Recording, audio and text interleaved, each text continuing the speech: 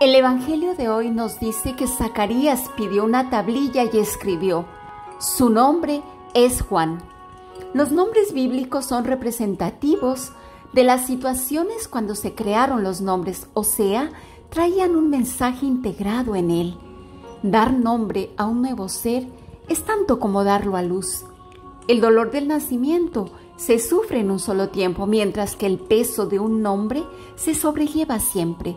Durante la vida de todo ser, el nombre le acompaña, tanto como el cuerpo que envuelve a su alma. El nombre se expresa, se escribe, se inscribe, se le asigna una firma, se le ponen letras doradas en los diplomas. Eso se hace con nuestro nombre en la tierra.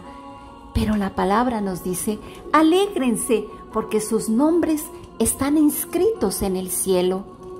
¿Sabes lo que significa tu nombre? Amén.